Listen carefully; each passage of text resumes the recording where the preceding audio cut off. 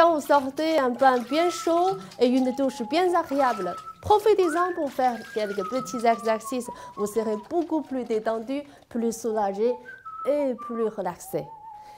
Profitez quand vous avez une serviette dans la main et vous pouvez bien faire beaucoup de choses avec. Par exemple, on peut faire de grands étirements. Selon votre état de souplesse, vous pouvez choisir selon la longueur de serviette.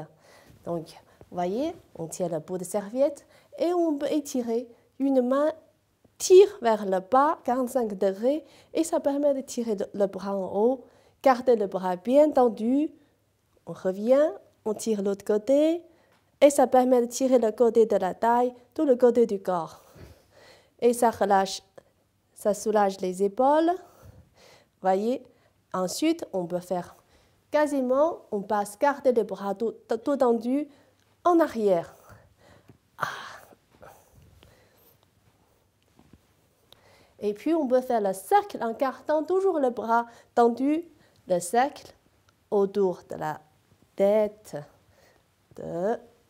Ça assouplit très bien les articulations au niveau des épaules et ça étire bien le dos. Profitez quand vous sortez une douche. Vous verrez, vous serez beaucoup plus souple. Bonne